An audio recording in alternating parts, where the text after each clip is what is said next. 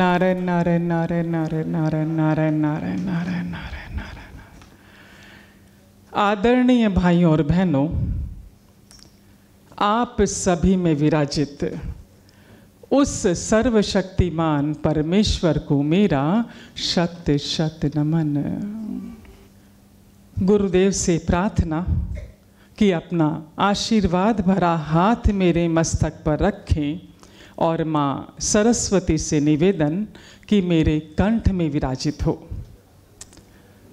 ताकि प्रकृति जो संदेश, नारायण जो संदेश मेरे माध्यम से आप तक पहुंचाना चाहते हैं, उसे मैं सही तरीके से आप लोगों तक पहुँचा सकूँ।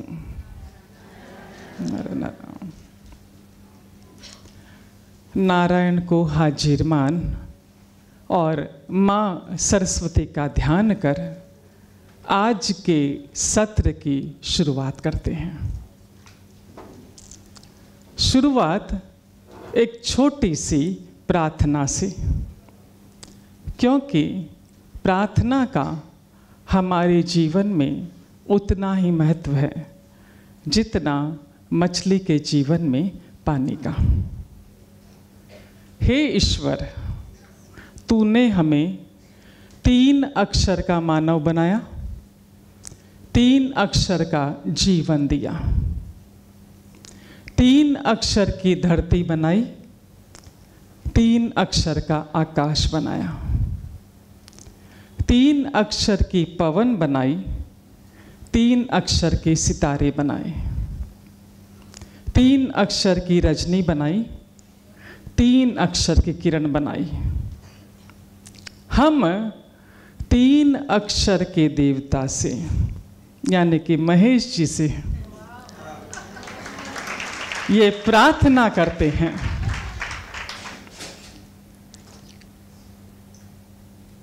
ये प्रार्थना करते हैं कि इस दो अक्षर के दिल से, इस दो अक्षर के दिल से चार अक्षर की नफरत मिटाकर ढाई अक्षर प्रीत, प्रेम और प्यार का भर दे। नारायण नारायण नारायण नारायण नारायण सबसे पहले तो मैं धन्यवाद करना चाहूँगी महेश्वरी प्रगति मंडल एवं संस्कार एवं सत्संग समिति का और साथ ही साथ सूत्रधार ललिता जी मोदी का जिन्होंने मुझे यहाँ पर आमंत्रित किया और मुझे आप सभी लोगों को देखने का सौभाग्य प्राप्त हुआ। नारायण नारायण। धन्यवाद स्वरूप, दो पंक्तियाँ समर्पित हैं कि फूल खिलते रहे आपकी राह में। फूल खिलते रहे आपकी राह में, हँसी चमकती रहे आपकी निगाह में। फूल खिलते रहे आपकी राह में, हँसी चमकती रहे आपकी निगाह में, कदम कदम पर मिले खुशी की बहार आपको। कदम कदम पर मिले खुशी की बहार आपको, दिल देता है बार बार यही दुआ आपको, दिल देता है बार बार यही दुआ आपको, दिल देता है बार बार यही दुआ आपको। नारायण नारायण नारायण नारायण। जीवन में हर व्यक्ति स्वतंत्र है। सोचने के लिए और अपनी मन चाही राह पर चलने के लिए। कुछ लोग बहुत ही सूझबूझ के साथ कदम उठाते हैं तो कुछ लोग बिना देखे या कई बातों को अनदेखा कर बस चल पड़ते हैं। ज़ाहिर है कि अपने जीवन में हर कोई पूरी तरह सफल या असफल नहीं होता। सुख की सबकी अपनी अपनी परिभाषा है। लेकिन कुछ कहानियाँ, कुछ किस्से, कुछ प्रसंग, कुछ विचार ऐसे होते हैं जो मन को छू जाते हैं। और कई बार तो ये हमारा जीवन के प्रति दृष्टिकोण ही बदल देते हैं। ऐसे प्रसंगों की चर्चा यहाँ पर करना चाहूँगी, जो मन को तो छूते ही छूते हैं, साथ ही साथ हमें कुछ संदेश भी देते हैं। आई रिपीट, ऐसे प्रसंगों की चर्चा, जो मन को तो छूते ही छूते हैं, साथ ही साथ हमें कुछ संदेश भी देते हैं। पहला प्रसंग। पत्नी का जन्मदिन था। पति ने कार उपहार स्वरूप दी। पहले तो कार की चाबियाँ सौंपी, फिर एक पैकेट दिया, जिसमें ड्राइविंग लाइसेंस सहित अन्य तमाम ज़रूरी कागजात थे। पत्नी का आलिंगन किया। और बहुत ही प्रेम से प्रस्ताव रखा कि प्रिय, आज बच्चों का मैं ध्यान रखूँगा। तुम कुछ देर नई कार की सवारी का आनंद लो। पत्नी मुस्कुराती हुई, धन्यवाद करती हुई चल पड़ी नई कार की सवारी का आनंद लेने। अभी मुश्किल से एक किलोमीटर ही पहुँची होगी। कि नई नवेली कार सड़क के डिवाइडर से टकरा गई। उसे खुद को तो चोट नहीं आई, लेकिन नई नवेली कार पर गहरी खरोच पड़ गई। यह देखकर वह घबरा गई कि अब मैं इनसे जाकर क्या कहूँगी। और नई नवेली कार पर खरोच देखकर ये क्या कहेंगे? दिमाग में विचारों का तूफ़ान अभी चल ही रहा था कि सामने से पुलिस आ गई। पुलिस ने ड्राइविंग लाइसेंस मांगा। पत्नी के हाथ काँप रहे थे, आँखों से आँसू बह रहे थे। कांपते हाथों से उसने वो पैकेट उठाया जो पति ने उसे दिया था। उस पैकेट में से ड्राइविंग लाइसेंस निकालते वक्त पत्नी का ध्यान उस पैकेट पर लगी एक छोटी सी पर्ची पर गया। उस छोटी सी पर्ची पर पति ने अपने हाथ से लिख रखा था कि, प्रिय, यदि कोई दुर्घटना घट जाए तो प्लीज़ ये याद रखना। जिससे मैं प्रेम करता हूँ, वो तुम हो कार नहीं फ्रॉम तुम्हें प्रेम करने वाला। भाग्यशाली हैं वे लोग जो ये समझ चुके हैं कि हमें व्यक्तियों से प्रेम करना है और वस्तुओं का उपयोग करना है। न कि वस्तुओं से प्रेम करना और व्यक्तियों का उपयोग करना।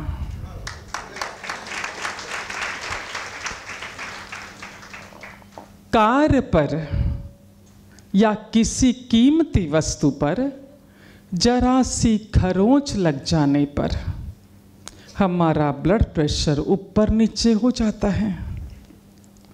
लेकिन अपने दिल पर या किसी और के दिल पर लगी हुई खरोंच की तो हम परवाह नहीं करते। अध्यात्म गुरु मिश्र राघव कहते हैं कि उन लोगों को कभी अनदेखा ना करें। उन लोगों को कभी अनदेखा ना करें जो तुम्हारी बहुत परवाह करते हैं। वरना एक दिन ये एहसास होगा कि पत्थर जमा करते करते हीरा गवा बैठे।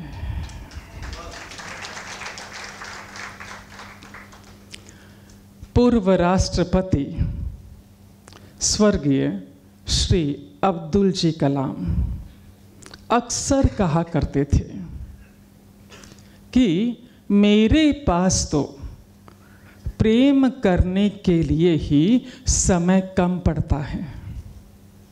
मेरे पास तो प्रेम करने के लिए ही समय कम पड़ता है।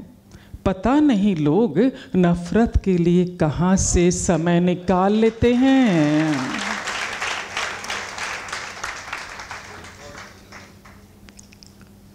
चलते हैं अगले प्रसंग की ओर।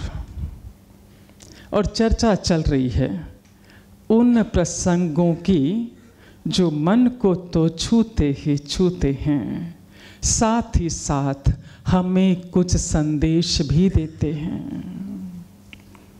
दूसरा प्रसंग प्रातः का समय था ठंडी ठंडी मंद मंद हवा बह रही थी। मैंने देखा एक गुलाब का फूल खुशी से झूम रहा था। उसे खुशी से झूमते देख आसपास के पेड़ पौधों ने कहा, अरे, इतना मत इतराओ, इतना मत इतराओ। शाम होते होते तुम्हारी नाजुक पंखुड़ियाँ मुरझा जाने वाली है। फूल ने मुस्कुराते हुए जवाब दिया तो क्या हुआ? जितना जीवन मिला है, उतना तो खुशी से जी लूँ, उतना तो खुश हो लूँ। आसपास के पेड़ पौधों ने फिर कहा, इतना झूमोगे, इतना इतराओगे तो मालिक की नज़र में आ जाओगे, वो तुम्हें तोड़ कर ले जाएगा। और शाम होने से पहले पहले ही तुम्हारा ये जीवन समाप्त हो जाएगा। क्या तुम्हें डर नहीं लगता? फूल ने सहज भाव से उत्तर दिया कि हम कितना अच्छा जीवन जीते हैं, ये महत्व रखता है। कितना लंबा जीवन जीते हैं, ये नहीं। और जीवन का आगे कहा कि मेरे लिए तो जीवन का अर्थ है। अपने चारों ओर खुशियाँ बिखेरना, सुगंध बिखेरना। इतना कहकर वो गुलाब का फूल पुनः खुशी से झूमने लगा। जितना जीवन मिला है, उतना तो खुशी से जी लें, उतना तो खुश हो लें। हम कितना अच्छा जीवन जीते हैं, ये महत्व रखता है, कितना लंबा जीवन जीते हैं, ये नहीं। और जीवन का अर्थ है, अपने चारों ओर खुशियाँ बिखेरना, सुगंध बिखेरना। स्वामी विवेकानंद कहते हैं कि जीवन केवल धन नहीं। जीवन केवल धन नहीं, इसे धन्य करें। आई रिपीट जीवन केवल धन नहीं, इसे धन्य करें। एक बार बोल दीजिए, क्या? नारायण नारायण नारायण नारायण नारायण। चलते हैं अगले पायदान की ओर। अब जो चीज़ें आप तक पहुंचाई जाएगी, जैसे हम कहते हैं प्रैक्टिकल ट्रेनिंग चलेगी अभी आप लोगों की। और इस व्यवस्था के तहत नारायण रेखी सत्संग परिवार एक विशेष व्यवस्था रखता है, वो ये कि अब जो चीज़ें आपको, आप तक पहुंचाई जाएगी, जो व्यक्ति बेहद ध्यान से सुनेगा और जब जब प्रश्न पूछे जाएँगे, आप उत्तर देते रहेंगे। जो उत्तर देगा। हमारे वॉल्टियर्स यहाँ पर ध्यान रखे हुए हैं। उन्हें सत्र की पूर्णाहुति पर कैश प्राइज दिया जाएगा। कैश प्राइज लिफाफा। अब आधे घंटे बाद बताएँगे कि उस लिफाफे में कितना रुपया है। उत्सुकता होगी ना भाई, कितना कैश प्राइस आएगा आधे घंटे में। अब चलते हैं अगले दौर में। और चर्चा करते हैं उन चीज़ों की, जो हमारे जीवन में प्राथमिकता रखती है, प्रायोरिटी रखती है। बोर्ड सबको दिख रहा है क्या? बोर्ड दिखना बहुत ज़रूरी है। आगे, पीछे, बाएँ दाएँ सबको। हम्म? हमारे जीवन की प्राथमिकता क्या है? तन स्वस्थ अग्रवाल समाज तो चाहता है, माश्वरी समाज भी चाहता है क्या? हाँ? प्रायोरिटी है प्रायोरिटी है। तन स्वस्थ, मन स्वस्थ। मन स्वस्थ यानी खुशी और आनंद से भरा हुआ हो। और धन, हमारे पास प्रचुर मात्रा में हो।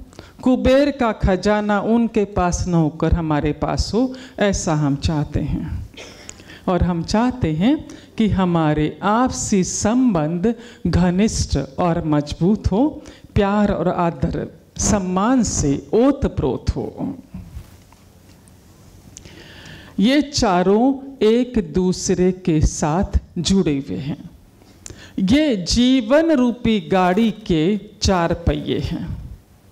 यदि ये सही है तभी आपकी जीवन रूपी गाड़ी जीवन पथ पर सरपट दौड़ती है। यदि इसमें से एक भी अस्वस्थ है तो आपका ये पूरा पैकेज अस्त व्यस्त हो जाता है।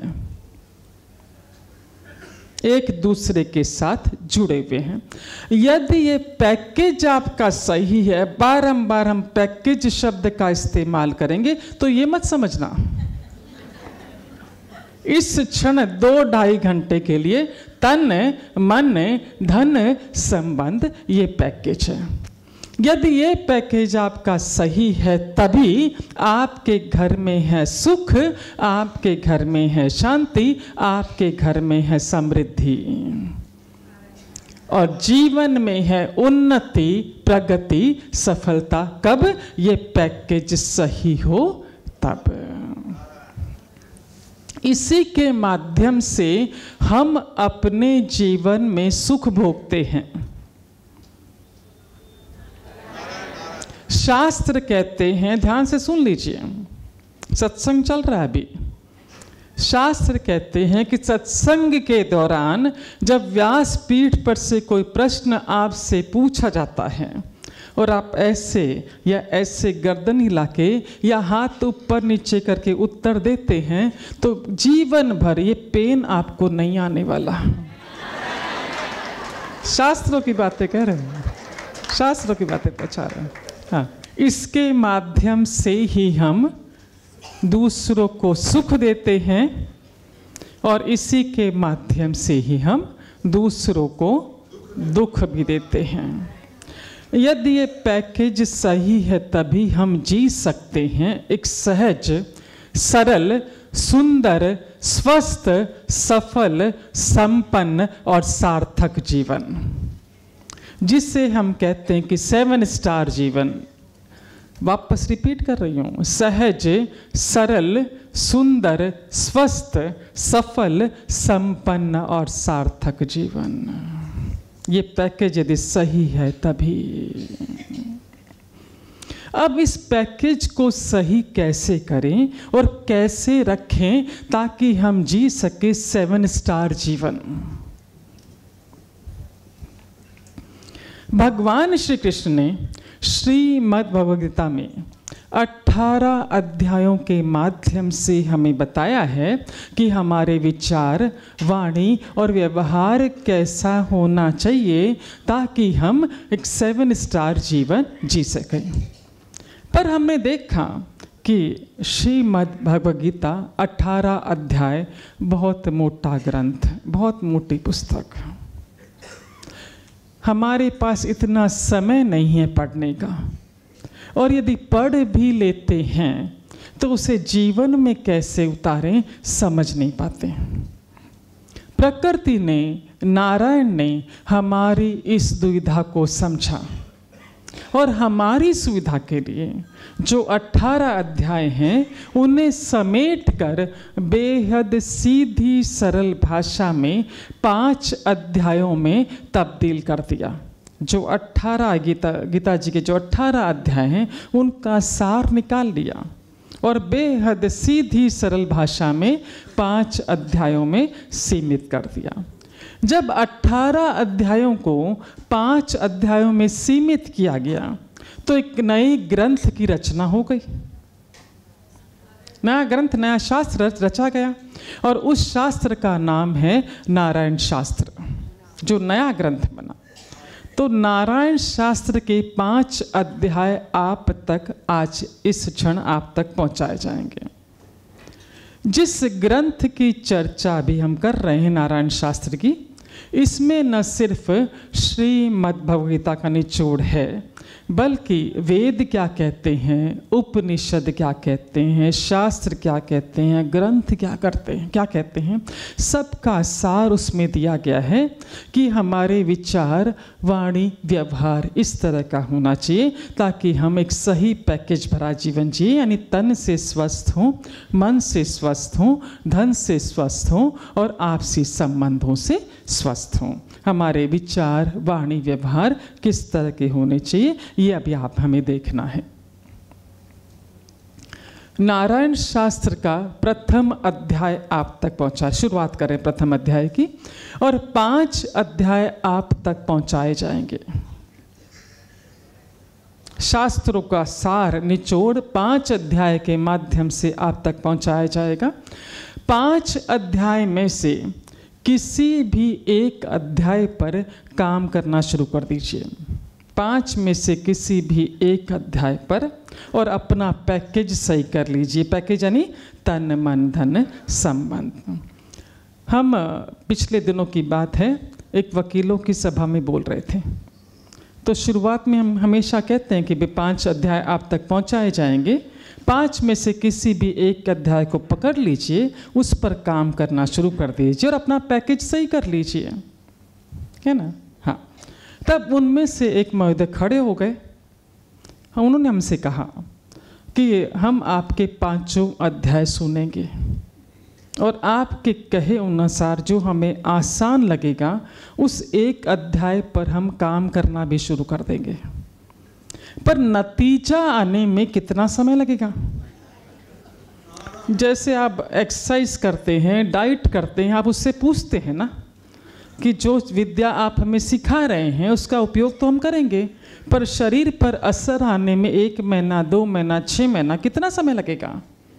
उन्होंने हमसे पूछा कि पाँच अध्याय सुनेंगे, एक पर काम करेंगे तो एटलीस्ट थोड़ा बताइए कितना समय लगेगा नतीजा आने में। हमने कहा, तत्त क्षण। उनका प्रश्न, आगे तो पूरी बात सुनो, हम इशारा करेंगे, ताली बजा दो। जो ही हमने कहा तत्व क्षण, अगले का प्रश्न था, उच्च शिक्षित थे ना, कि what do you mean by तत्व क्षण? तत्व क्षण का अर्थ क्या? हमने कहा, भाई मेरे हमारे ज़माने में कार्बन चलता था। कार्बन मालूम है क्या? नीचे ब्लैंक पेपर ऊपर कार्बन, ऊपर पेपर फिर ऊपर लिखना शुरू करते थे। तो मैंने कहा, नीचे पहुँचने में कितना टाइम लगेगा? तत्क्षण।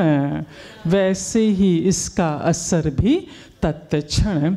जिस मानसिक और शारीरिक अवस्था और व्यवस्था के साथ आप इस हॉल में पधारे थे निश्चित है चेंज होगा, परिवर्तन होगा डेफिनेट है, परिवर्तन होगा, जब आप यहाँ से वापस प्रस्थान करेंगे। और यदि परिवर्तन नहीं होता है तो बैठा है माहेश्वरी प्रगति समाज और संस्कार वाली जो है ना, उनको पकड़ लीजिएगा कमेटी वालों को। हाँ तो बात चल रही थी तन मन धन संबंधों की तो पहला अध्याय शुरू होता है नारायण शास्त्र का, अब जब जब भी जीवन को सुधारने की, संवारने की, सुंदर बनाने की बात आती है, सबसे पहले हम फोकस करते हैं हमारे इस तन पर।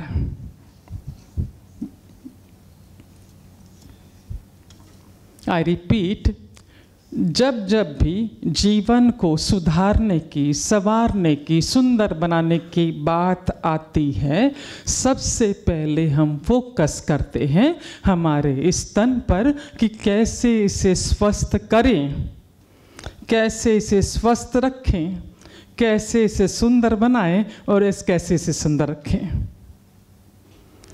और कितना धन और कितना समय लगाते हैं इसके रख रखाव में।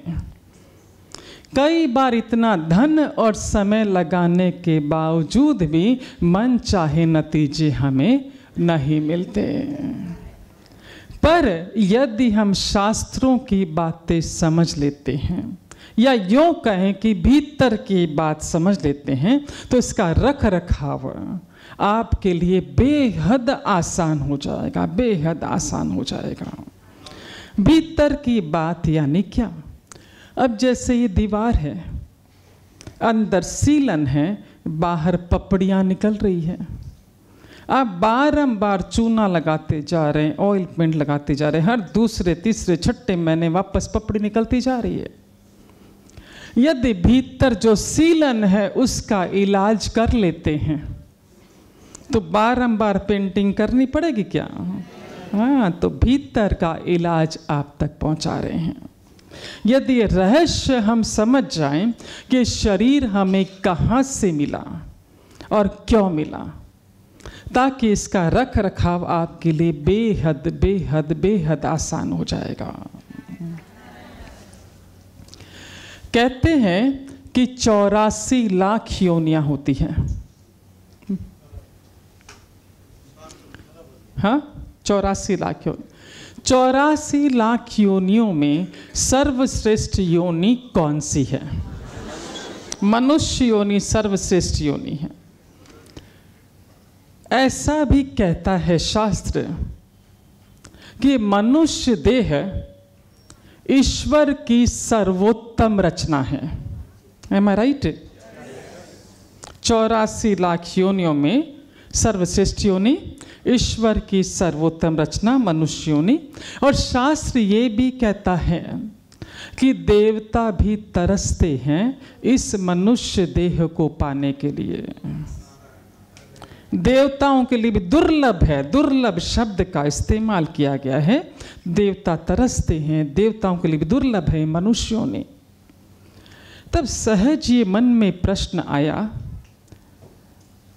कि जो योनि पाने के लिए देवता भी तरसते हैं, उनके लिए भी दुर्लभ है तो ये हमें कैसे मिली और क्यों मिली? चौरासी लाख योनियों में सर्वश्रेष्ठ योनि, मनुष्य योनि ईश्वर की सर्वोत्तम रचना। सबसे बड़ा प्रश्न ये कि जो देह देवता भी पाने के लिए तरसते हैं, उनके लिए भी दुर्लभ है। ये हमें कैसे मिली और क्यों मिली? आइए देखते हैं कैसे मिली क्यों मिली, ताकि इसका रख रखाव आपके लिए बेहद आसान हो जाए। और हमारा फोकस किस पर है? तन मन धन संबंध पर। ये मनुष्य योनि हमें मिली, इसके पहले हमने कई सारे जीवन जिए हैं, क्योंकि चौरासी लाख योनियाँ होती हैं। इन जन्मों में जो जो हमने अच्छे कर्म किए, वो हमारे खाते में जमा होते गए। इन योनियों में जो जो हमने अच्छे कर्म किए, हमारे अकाउंट में, खाते में जमा होते गए। अच्छे कर्मों की परिभाषा क्या? सीधी सी परिभाषा है कि आपके द्वारा किया गया वो कर्म जो दूसरों को सुख पहुंचाता है, दूसरों को खुशी देता है, अच्छे कर्मों की श्रेणी में आता है। छोटा सा, सीधा सरल। कि आपके द्वारा किया गया वो कर्म जो दूसरों को सुख पहुंचाता है, खुशी देता है, वो अच्छे कर्मों की श्रेणी में आता है। तो आपने जो कर्म किए, वो आपके खाते में जमा होते गए इन पर ईश्वर की कृपा हुई, कृपा प्लस कर्म। ईश्वर की कृपा और कर्म आपके। आपको मनुष्य योनि के लिए चुना गया। मनुष्य योनि आपको मिली नहीं थी, आपको चुना गया था। जब आपको मनुष्य योनि के लिए चुना गया, लिस्ट में आपका नाम आ गया। तब देवताओं ने अपने दूत आपके पास भेजे। ये पूछने के लिए कि आपको मनुष्य योनि के लिए चुना गया है, आपको मनुष्य योनि चाहिए है क्या?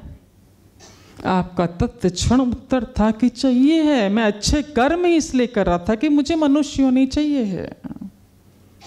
दूसरा प्रश्न पूछा गया। जब आपने यस कहा कि मनुष्य होने चाहिए है, दूसरा प्रश्न आपसे पूछा गया कि नर तन धारण करके आप पृथ्वी पर जाना चाहते हैं या नारी तन धारण करके आप पृथ्वी पर जाना चाहते हैं? ये भी चुनाव आपका था। मेरी बहनों ने चुना नारी तन, मेरे भाइयों ने चुना नर तन। जब हमने ये चुन लिया, तीसरा प्रश्न हमसे पूछा गया कि कितने समय तक के लिए आप पृथ्वी पर जाना चाहते हैं? पाँच घंटे, पाँच दिन, पचास साल, कितना समय? हमने कहा, सत्तर साल पृथ्वी पर रहना चाहते हैं। सेवेंटी ईयर्स तो हमारे साथ तीन पुस्तकें आती हैं। राशन कार्ड, पासबुक और काम करने का कोटा।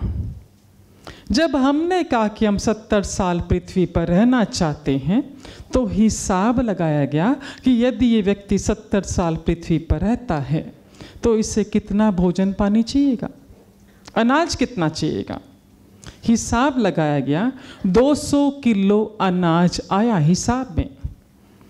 और हमारे राशन कार्ड में 250 किलो लिखा गया। रिक्वायरमेंट कितनी है? 200 किलो की 250 किलो लिखा गया, अतिरिक्त लिखा गया और राशन कार्ड हमें दिखाया गया कि तुम्हारी रिक्वायरमेंट 200 के जी की है 250 के जी लिखा है और चाहिए है क्या?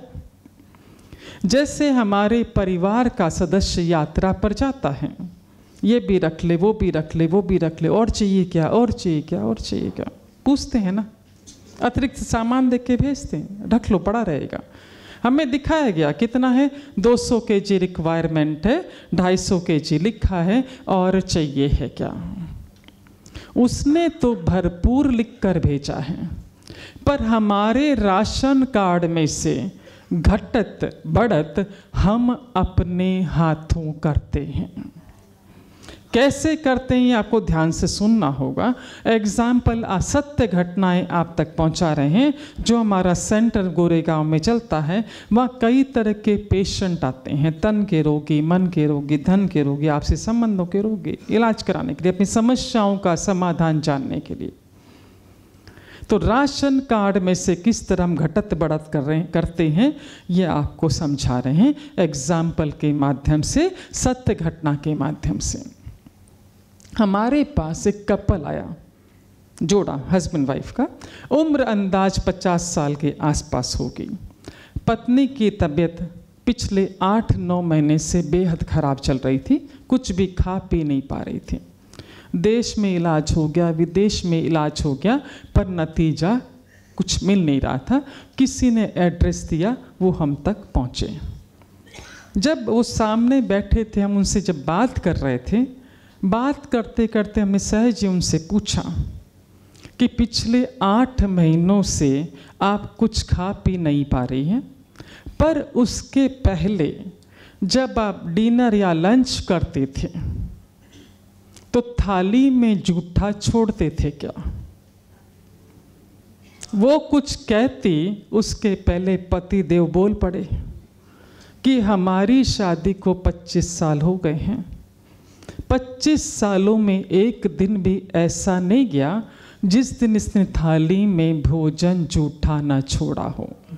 कभी इतना कभी इतना। रोज इससे कहता हूँ कि कम परोस लो, वापस ले लेना, पर परोसती है, फिर जूठा छोड़ती है। दूसरा प्रश्न हमने उस महिला से पूछा कि घर में लंच बनता है, डिनर बनता है, ब्रेकफास्ट बनता है? और जो भी कुछ हम बनाते हैं, स्वाभाविक है, अतिरिक्त बचता ही है। कोई दिन ही ऐसा होता है कि जितना बना, सारा का सारा खप गया। तो जो बचता है, उसका क्या करती थी तुम? क्या करती हो तुम? उस पर भी महिला तो चुपचाप बैठी थी। पति देव बोल पड़े कि जो भी भोजन बचता है, ये कटोरी कटोरी में निकाल के फ्रिज में सरकाती है। मैं इससे कहता हूँ कि वॉचमैन को दे दो हेल्पर को दे दो। अभी कोई खाने वाला मेंबर घर में नहीं है, पर नहीं सुनती है। और चार पाँच दिन बाद में जब उसमें से ज़रा स्मेल आती है, मैं निकाल कर डस्टबिन में डालता हूँ। मैं खुद अपने हाथ से निकाल कर डस्टबिन में डालता हूँ। हमने कहा, बहन जी, आपने अपने हिस्से का भोजन तो डस्टबिन में पहले ही डाल दिया। अब कहाँ से भीतर जाएगा? कोटा पूरा हो गया ना? गई क्या बात भीतर? आपके मौन को क्या समझे हम? हाँ। वो एक दूसरे को इशारा करें, तू अभी से मत डालना, अभी से मत डालना दूसरा केस। इधर मेरी बहनें बोल रही, सब हमारे ऊपर बोलोगे, भाइयों पर भी बोलो जरा सा। उनका आते हैं, भाइयों पर भी आते हैं। दूसरा केस, ऐसे ही पति पत्नी इलाज के लिए आए।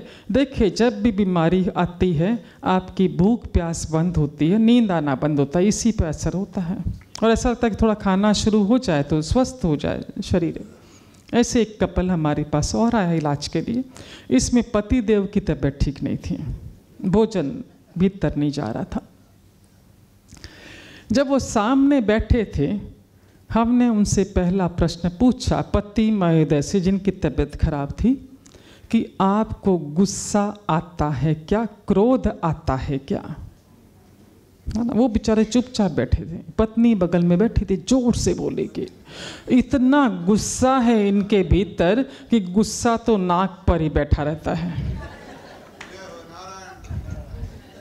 आगे बताया उस महिला ने कि इतना क्रोध इनके भीतर है कि हफ़्ते दस दिन में एक बार तो ऐसा ये करते हैं कि हम थाली परोस कर लाते हैं, थाली को देखते हैं। यदि इनके पसंद का भोजन नहीं है या कलर भी अच्छा नहीं आया, थाली उठाकर फेंकते हैं। परोसी हुई थाली क्रोध में फेंकते हैं। और नियम है इनका, जो थाली सामने लाओ, उसको देखेंगे और उसमें दो तीन मीन में निकालेंगे। ये ऐसा बना दिया, ये ऐसा बना दिया, ऐसा बना दिया, उसके बाद ही गले से उतारते हैं। हमने कहा, भैया, जो भोजन इस पृथ्वी पर अरबों लोगों को देखने को नहीं मिलता, खाने की बात तो जान दीजिए। देखने को नहीं मिलता है। यदि आप उसका इस तरह अपमान करेंगे, वो भीतर कहाँ से जाएगा?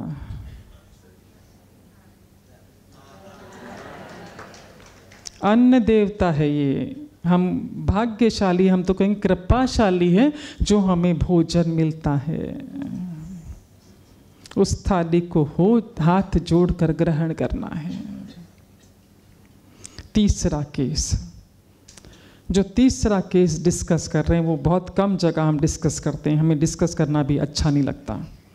पर आज बहुत बड़ा समाज यहाँ पर है। महिलाओं की तादाद बहुत अधिक है। इसलिए मन कर रहा है कि वो चीज़ें भी आप तक पहुँचाएँ। कि लेटेस्ट घटना है वो। एक महिला जो कि बत्तीस पैंतीस साल की असाध्य रोग से पीड़ित आई हमारे पास। जब हम बातचीत कर रहे थे, उन्होंने उसने बताना शुरू किया कि जब मैं शादी होकर ससुराल आई, चार पाँच महीनों बाद से ही मेरी और मेरी सास की अनबन होना शुरू हो गई। और मैंने उन्हें परेशान करने की ठानी। हंसने का नहीं है, भीतर जाने, समझने वाली चीज़ें हैं ये। मैंने कहा, तुम किस तरह परेशान करती थी? बोले, पहली बात तो ये कि वो सुबह जल्दी उठती थी, उठते से उनको चाय चाहिए होती थी। पर रात को सारा दूध जमा देती जानबूझ कर कि सुबह उनको दूध ना मिले और उनका सिर दुखे, शरीर दुखे। पहली बात। दूसरा बताया उन्होंने कि इकलौता बेटा है, उनका जो पति है, वो माँ बाप का इकलौता बेटा है और एक की दुकान है जिसमें बाप बेटे दोनों साथ में बैठते हैं।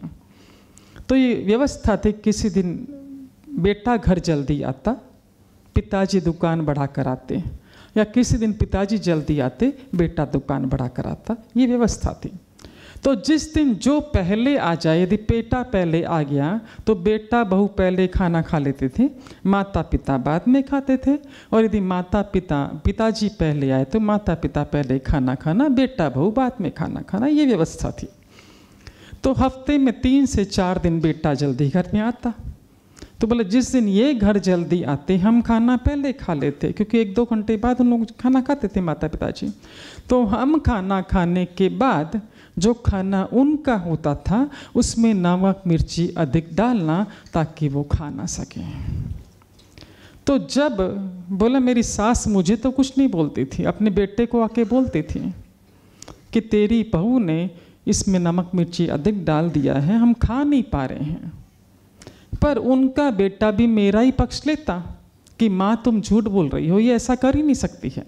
मैंने भी तो खाना खाया था, तुम ऐसा करके मेरा, इनका इसका नाम डाल रही हो। हमने कहा, सीधा सा गणित है, तुमने उनका खाना छुड़ाया, तुम्हारा खाना छूट गया। सीधा सा गणित है।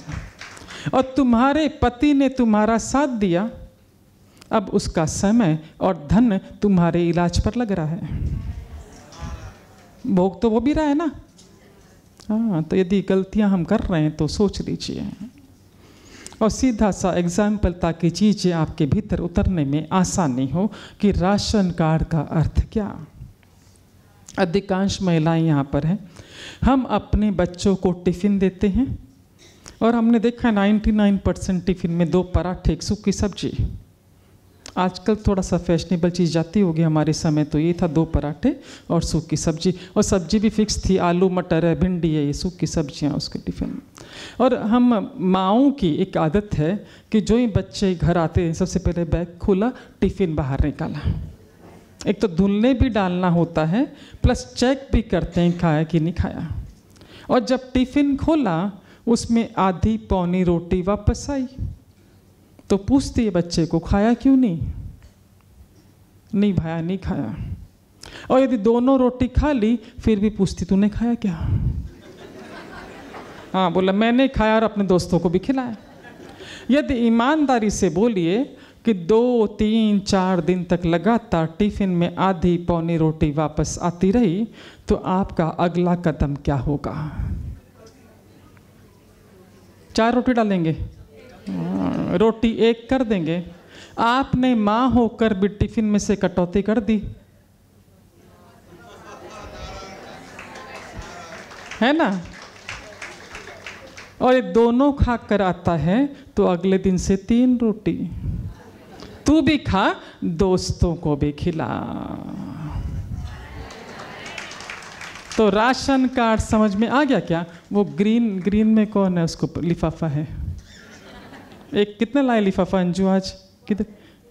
गिनती के बताओ, माहेश्वरी समाज है ये। पाँच है, पाँच में से एक गया, अभी चार बचे हैं। बताएँगे उसमें कितना रुपया है। हाँ तो राशन कार्ड की बाबत हम अच्छे से समझ गए। दूसरा, पासबुक आपके साथ आती है। उसमें भी भरपूर पैसा दे के भेजता है वो। क्योंकि देखिए ना, यदि हमारे बच्चे बाहर यात्रा पर जाते हैं, हमारी सामर्थ्य हो या ना हो, हम उससे अतिरिक्त उसकी जेब में डालते हैं कि तेरे पास रख, तेरे काम आएगा। हाँ हमने क्यों एग्जैक्ट बताया, पाँच लिफाफा बताया ना? क्योंकि आप लोग माहेश्वरी समाज बहुत परफेक्ट होते हैं। Very they are very punctual and perfect खासियत है उनकी ऑफकोर्स खासियत है। है ना? तो बताना पड़ता है कि पाँच है कि पचास है, ताकि एक हाँ हाँ तो सेकंड था कि पासबुक उसने अतिरिक्त धन हमें देख कर भेजा है, पर घटत बढ़त हम अपने हाथों करते हैं। वो कैसे करते हैं? हर अध्याय में धन की बाबत आपको टिप्स मिलते जाएँगे, इसलिए ये सब्जेक्ट इधर एक बार रोक रहे हैं। तीसरी पुस्तक जो आपके पास आती है वो काम करने का कोटा। राशन कार्ड, पासबुक, काम करने का कोटा। जब हमने कहा कि हम सत्तर साल पृथ्वी पर रहना चाहते हैं तो हमारे सामने कई तरह के काम रख दिए गए। कि सत्तर साल पृथ्वी पर रहोगे तो कुछ तो करना होगा ना। इसमें से चुन लो क्या करना चाहते हो। अपने मन पसंद काम चुन लो। हम चुनकर वो काम आए हैं। पर यदि हम अपना कर्तव्य ध्यान से सुन लीजिए, यदि हम अपना कर्तव्य, अपनी ज़िम्मेदारी सही तरीके से पूरी नहीं करते, हमारा अपना काम हम किसी और से करवाते हैं तो किसी और का काम आपको करना पड़ेगा, जिसमें आपको इंटरेस्ट के साथ करना होगा। सत्य घटना आप तक पहुँचा रहे हैं ताकि इस बुक की बाबत समझने में आपको आसानी हो, जो काम करने का कोटे की पुस्तक है। एग्ज़ाम्पल के माध्यम से आसान होती चीज़ें भीतर तक उतरने में।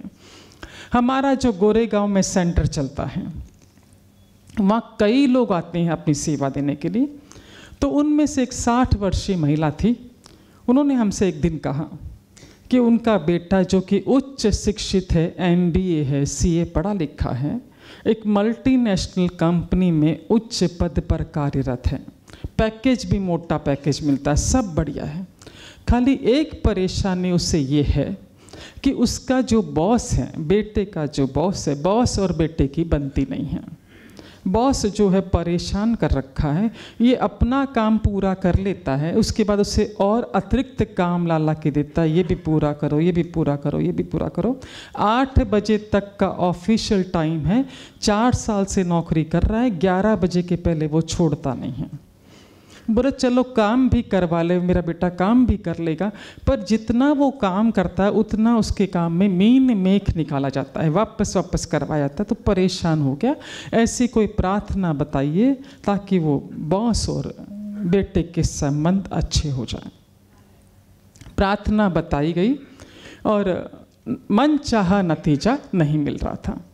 जब वो बारंबार हमारे पास आते कि नहीं, अभी भी फ़र्क नहीं आया हम कहते हैं, हमने कहा, देखो, इतना तुम्हारा बेटा परेशान हो रखा है, इतना पढ़ा लिखा है, नौकरी कहीं और कर लेगा, छोड़ दीजिए वहाँ से। बोला, पैकेज बहुत मोटा है, नहीं छोड़ सकते तो हमने उससे कहा कि, भाई, एक काम करो, तुम्हारे बेटे को हमारे पास भेजो। पता चले कहाँ रुकावट आ रही है। और उस बेटे के स्वभाव के बारे में माँ से पूरी गहन छानबीन कर ली। स्वभाव क्या है? क्रोध वाला है, जिद्दी है, अड़ियल है। ऑफ़िस से घर आता है, जूता यहाँ खोला, बैग वहाँ पटका, चश्मा वहाँ रखा, लैपटॉप वहाँ रखा, इसमें मोबाइल यहाँ रखा। और सुबह जब ऑफ़िस जाना होता है चीखना, मेरा सामान किधर है, ये किधर है, ये किधर अस्ते वस्त बोले, सुबह रोज का उसका नियम है चिल्लम चिल्ली करके घर से निकलता है। हम इसलिए शांत रहते हैं कि शांति से चला तो जाए। बेचारी माए सांस ले रही थी। हाँ ऐसी उसकी व्यवस्था, स्वभाव मालूम कर लिया। सेकेंड डे जब वो मिलने के लिए आया, हमसे बेहद स्मार्ट हैंडसम पर्सनैलिटी ऐसे बातचीत के दौरान हमने उनसे पूछा कि, भाई, कितने बजे ऑफ़िस जाते हो? बोला, नौ बजे निकलता हूँ। उठते कितने बजे हो? साढ़े आठ. हमने कहा, आधे घंटे में तैयार हो जाते हो। बोला हाँ माँ सब करके रखती है, खाया तो खाया तो रखा ऐसा और भीतर की बात तो हमको मालूम थी, क्या स्वभाव है। थोड़ा समझा बुझा के उसे, इस इस पर लाए कि तुम जो सारा काम जो तुम्हें खुद को करना चाहिए, वो तुम्हारी माँ पर छोड़ के जाते हो। और निकलते निकलते भी, चीखते चिल्लाते जाते हो, परेशान करते भी जाते हो। इसलिए ऑफ़िस में जाकर तुमको परेशानी भुगतनी पड़ती, अतिरिक्त कार्य करना पड़ता है। तुम्हारा काम। हमने कहा ना, माहेश्वरी समाज बहुत इंटेलिजेंट आगे की बात समझ गया। पर हम फिर भी अपने बात को पूरी करेंगे। है ना? हमने उससे कहा, घर में अपना काम सारा ठीक से करा करो, ताकि ऑफ़िस में तुम्हें अतिरिक्त कार्य ना करना पड़े। बोला, आंटी, ऐसा होता है क्या? मैं नहीं मानता। मैंने कहा भैया आठ दिन ट्रायल कर लो। एट डेज़ खाली ट्रायल कर लो। यदि आपको मन चाह नतीजा मिलता है तो आगे बढ़ो, अन्यथा तुम अपनी जगह, हम अपनी जगह। बोला, ठीक है। सेकेंड डे से माँ से तो रिपोर्ट हमको मिल रही थी ना? बोला, बराबर सुबह एक घंटे पहले उठ गया, बिस्तर समेट के जाना, जो रखा वो प्रेम से खा के जाना, सामान रखना, वो सब व्यवस्थित। सारा बेहद डिसिप्लिन के साथ माँ बाप से भी बहुत प्रेम से बात करना, सब बढ़िया चलो। तीसरे दिन उस लड़के का फ़ोन हमारे पास रात को आठ बजे आया कि, आंटी, चमत्कार हो गया। चार साल से नौकरी कर रहा हूँ। आज पहली बार फ़र्स्ट टाइम मेरे बॉस ने मुस्कुराते हुए मुझे आठ बजे छुट्टी दे दी कि जा दो। समझा क्या?